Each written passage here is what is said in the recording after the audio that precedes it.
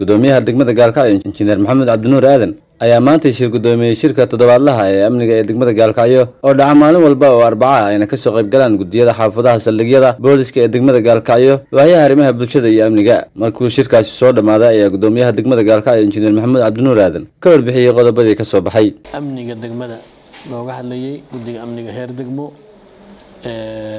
waa shir isbuuclo ah. Aynu dardargelinay isbuucyadan inaynu waxa weeye joogtayno qorshayaal cadcadna aynu hore u degsanay. Shirkan waxaa maanta ka soo qayb galay dhammaan guddoomiyayaashii xaafadaha. Labada waaxood shirkaani khuseeyey waaxda amniga iyo waaxda arrimaha bulshada. Saraakiisha amniga isuduwaha wasaaradda warfaafinta iyo bahda saxaafadda oo runtii tuulka aynu ummadda ku wacyigelinayno qayb weyn ka qaata.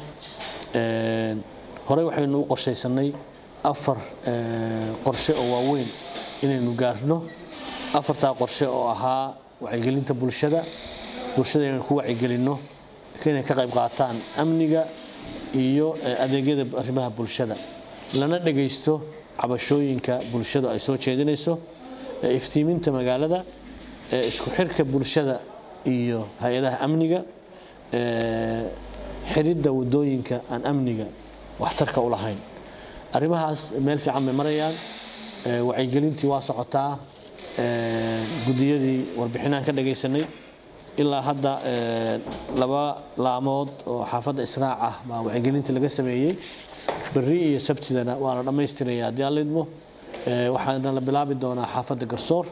Waxaan rabnaa inay wacyigelintii gaarto ilaa hadda xaafadihii iftiimintii bercentage fiican baa guryihii la iftiimiyey oo layrarkii lagu xiray wadooyinkiina qayb baa la xiray qaybna wacyigelinta socota marka waxaan rabaa inaan halkan shacabka ku nool degmada gaalkacyo aanu ka farno fariin in lala shaqeeyo gudiyada heer laameed iyo heer xaafadeed iyo hay'adaha amniga ee saldhigyada booliska lagala shaqeeyo in amniga degmada gaalkacyo uu noqdo mid laysku hadlayn karo.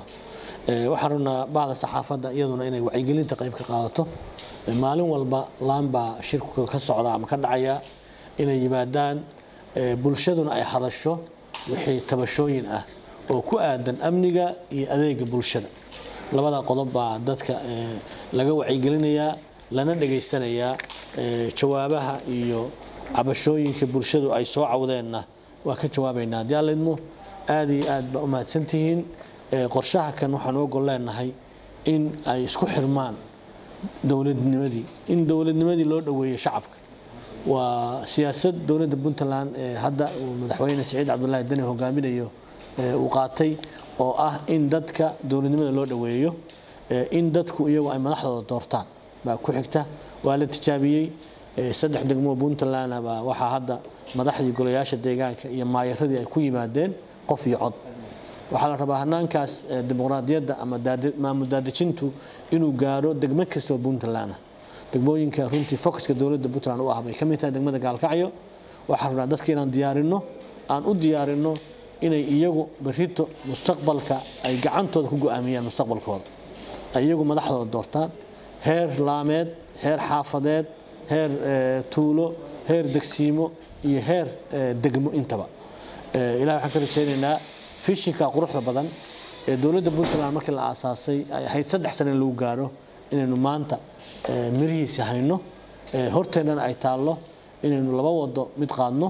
Wadadaas mustaqbalka iyo dimuqraadiyadda iyo qof walba inuu codkiisa ku cilbaxo. Iyo wadadii hore ee traditionalka ahayd oo runtii qodxaha badnayd iyada maamulka hadda xukuumadda puntland wuxuu go'aansaday in wadadaas la qaado. Arinta kalena waxa weeye dadka shacabka reer puntland iyo degmada gaalkacyo waxaan rabnaa inaan ku wacyigelinno argixisadii dhiigga soomaaliyeed caadaysatay. Soomaali way fahantay meel walba hadda waxa weeye waa lagala dagaalamaya. Walaalaheen soomaaliyeed meel kastay joogaan maanta qofka argixisada ah waa gabaad buu ku jiraa. Gacanku gabad weeye.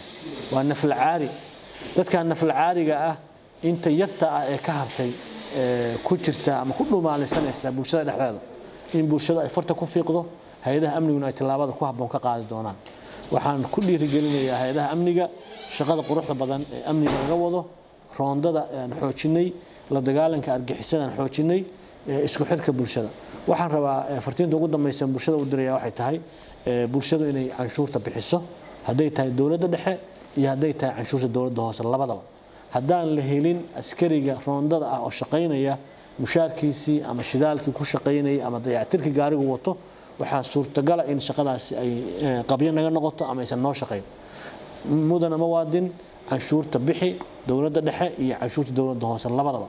Annagu haddaanu degmada gaalkacya nahay labada canshuuroodba waxay noo yihiin priority nooma kala duwana.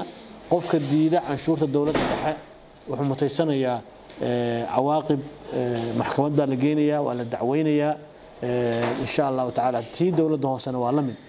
Waxaan rabnaa iyadana inaanu u sheegno mulkiilayaasha gaadiidka cagafyada iska leh halkaan isugu nimid. Waa heshiinay waxaanu ku heshiinay cagaf dambe oo dhul ka shaqayn kartaa ama xayndaabi kartaa inaysan jirin ilaa iyo dhulkaas uu haysto fasax dowladda hoose. Fasaxaas waxaan ogol leenahay dhulkaa inaan la isku layn wiil uusan nooga dhiman amnigeena inuusan khatar u gelin. Waxaan rabnaa iyada lafteeda xaalufka deegaanka in la ilaaliyo. Xeer baa jirta xeerka ilaalinta deegaanka la yidhaahdo muwaadin kasta oo arka cagaf ku jirta dhul ay fasax u haysan waxay la tahay in waxa weeye qof bulshadii wax u geynaya. Marka nimanka ganacsatada ahaa mulkiilayaasha ahaa waanu ballannay waanu wada hadalnay. Waxaanu ku heshiinay dhowr qodob in cagafyadooda meel aan fasax aysan u haysan amni iyo fasax dhuljeexi labadaba inaysan ka shaqayn waxaanu ku ballannay labiyo tobanka makhribnimo cagaf ka dambaysaa shaqayn kartaa inaysan jirin. Waa isla garanay iyagoo muwaadiniin weeye waa ganacsato ummadda xaq weyn ku leh inay ganacsadaanna aan cidna u diidanayn aada iyo aad baa umahadsantihiin axmed cabdirashiid axmed puntland t v gaalkacyo